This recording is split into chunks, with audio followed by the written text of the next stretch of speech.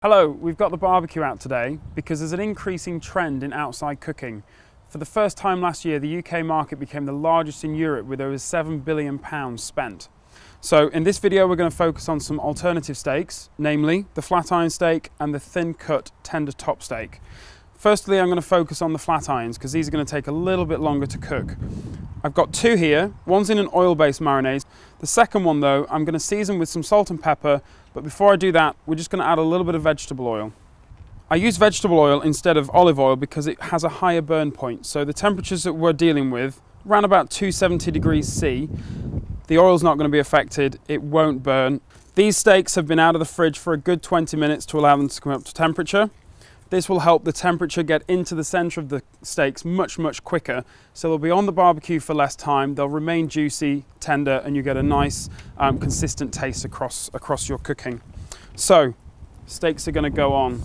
You want your barbecue to be pre-lit and preheated so that you wanna, you wanna have that sizzle exactly the same as if you're cooking in a frying pan in the kitchen. The flat irons are, they, they offer you an additional steak in your range and they also offer better value for the carcass as well. They add value to the carcass. So cooking with the lid down, we reduce the, uh, the chance of flare up and instead we get the beautiful smoke circulating in the barbecue to give our, to give our steaks a nice barbecue flavour. These steaks don't need too long. So while that one's just searing on the first side, I'm gonna prepare my second one, which is a thin cut tender top steak. This is a rough five mils in, uh, in thickness. Again, a little bit of oil, on both sides. The thin cut tender top steak is a really simple and easy steak to cook and it, it's really versatile and it can go in so many different recipes as well. And then we'll go on with this one. There we go. It's going to take no time at all. Going to leave it on about 30 seconds, maybe 45 seconds for the first side and it's going to be done. So we know when our food's ready to turn over when it doesn't stick to the cooking grate anymore. So we'll just check this uh, little tender steak here. Perfect. Turned over nice and easily. We'll go and check our two flat irons. You can see the caramelization stripes on there. If we turn the meat too soon, it will rip and we'll, we'll tear the meat and the juices will, will run out.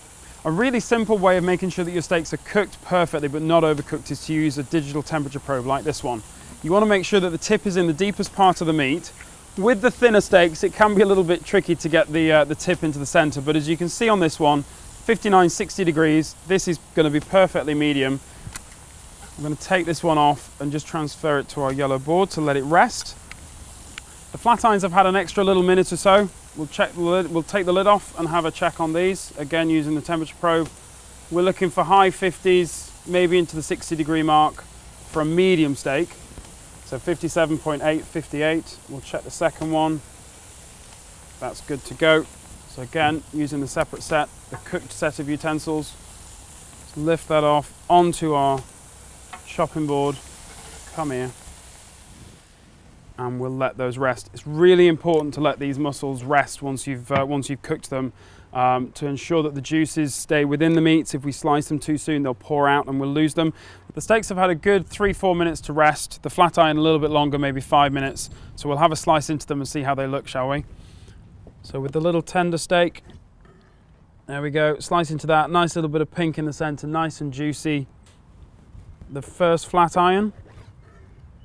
There we go, nice little bit of pink, perfectly set in the center, nice and juicy. That'll be absolutely fantastic to eat as well. And then this one, again, look at that.